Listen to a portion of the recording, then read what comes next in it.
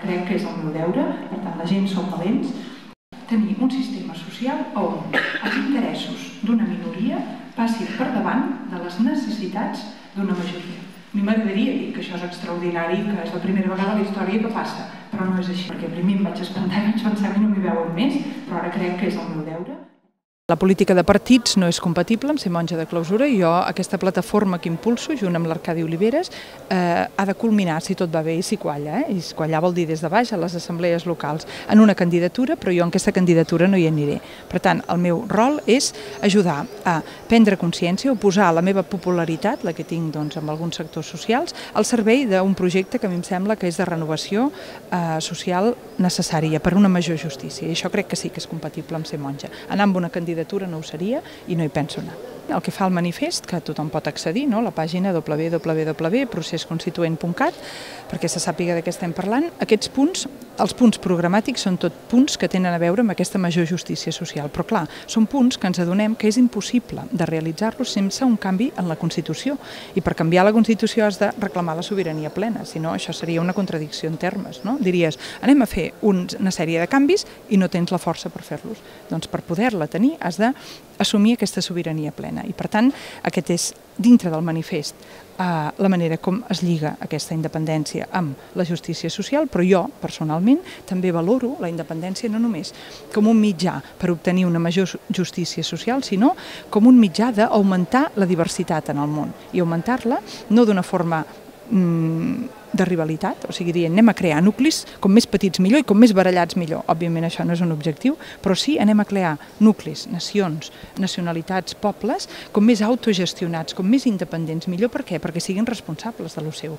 Ara a Catalunya què ens passa? Que diem, oh, la Generalitat no fa el que ha de fer, la Generalitat diu, és que Madrid, és que Madrid, és que Madrid, doncs prou, que siguem independents perquè puguin ser plenament responsables. I a Madrid què diuen? No, és que Brussel·les, Brussel·les, doncs tampoc. Aquesta Unió Europea que permet que les decisions remetin sempre a una autoritat superior, jo crec que és l'estafa de la democràcia. Per tant, amb un govern més proper tindríem més democràcia i, a més a més, l'últim punt per mi per la independència és aquest reconèixer la força i el valor i la riquesa intrínseca a una llengua i una cultura que compartim doncs, amb una sèrie de pobles i que jo crec que som aquests pobles que les hem heretades, els qui les hem de potenciar. Moltes persones identifiquen l'Església Catòlica amb el que seria la jerarquia de l'Església Catòlica i és veritat doncs, que la jerarquia existeix, que també hi ha pluralitat en la jerarquia, però que en els últims anys ha tendit aquest àmbit jeràrquic, vull dir, de bisbes en amunt, no?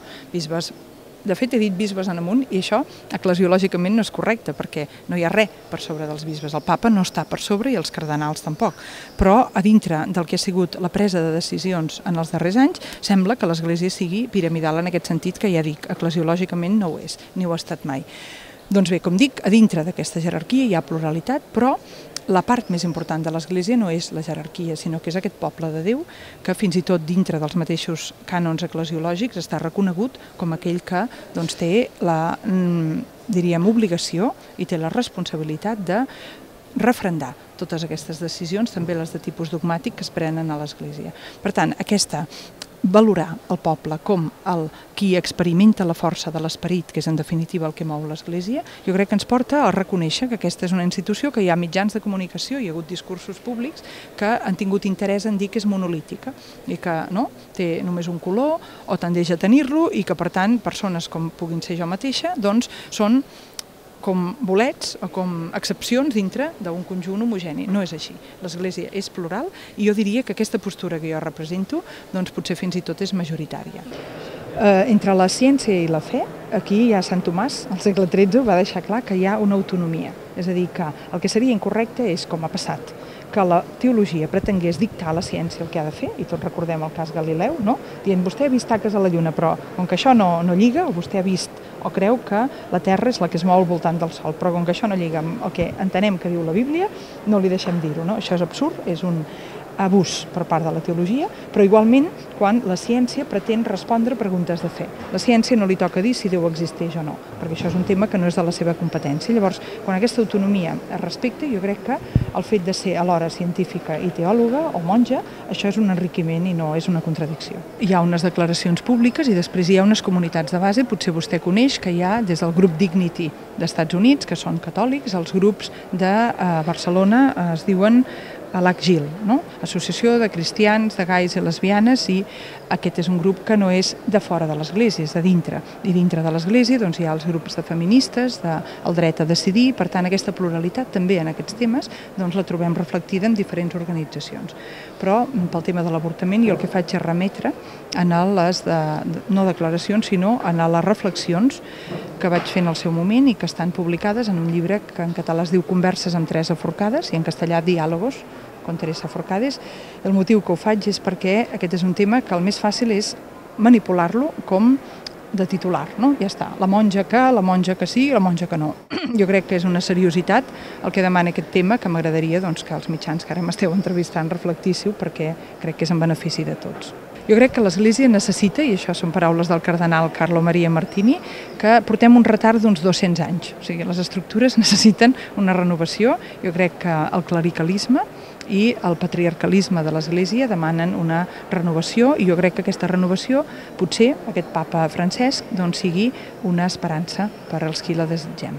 Jo crec que el paper de l'Església hauria de ser sempre aquest testimoni de l'Evangeli, o sigui, dir en el món, i com dir-ho, pot ser des de tenir escoles, a tenir hospitals, a fer monestirs a molt divers, o fer plataformes polítiques, si cal, però que sempre hauria de ser aquest donar testimoni que el món ha estat fet per amor, per un acte lliure d'amor i que allò que ens constitueix com a persones és la capacitat de fer actes lliures d'amor i que aquesta dignitat i aquesta bellesa de la persona eh, encara que vivim circumstàncies on hi hagi gent que digui que l'ésser humà ni tan sols és lliure, que la llibertat és una il·lusió o que potser és lliure però no és capaç d'amor, que és capaç només d'egoisme. Hi ha avui discursos com aquests del gen egoista, no? com si això fos una cosa científicament demostrada. Aquí torna a ser un d'aquests casos en què la ciència s'extralimita i intervé en l'àmbit de la llibertat humana i més per negar-la però encara que fos per afirmar-la, a la ciència no li toca això, sinó que això pertany a l'àmbit de l'esperit. I l'esperit és que en el món hi ha alguna cosa més que cadena causal.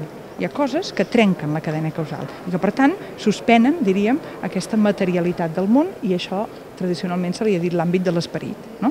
Doncs per creients i no creients, perquè l'art també és això, la poesia també és això, no cal ser creient per parlar de l'àmbit de la no determinació, de l'àmbit de l'esperit, però certament eh, els qui, l'Església està cridada a donar testimoni d'aquest àmbit i, a més a més, a donar-li un nom en aquest àmbit. I aquest nom que li donem des de l'Església és el nom de Jesús, que significa un Déu lliure i amorós que no només ens ha parlat d'això des de les seves distàncies celestials, sinó que ha compartit eh, el que significa existir en l'espai i el temps i que a més a més ho ha fet des de baix que és doncs, el que nosaltres procurem no fer quan tenim opció. No?